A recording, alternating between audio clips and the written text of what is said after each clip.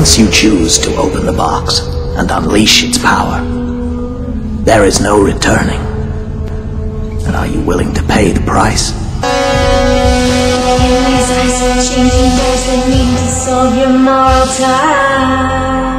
Which do you find more exhilarating? The pain or the pleasure? Personally, I prefer pain.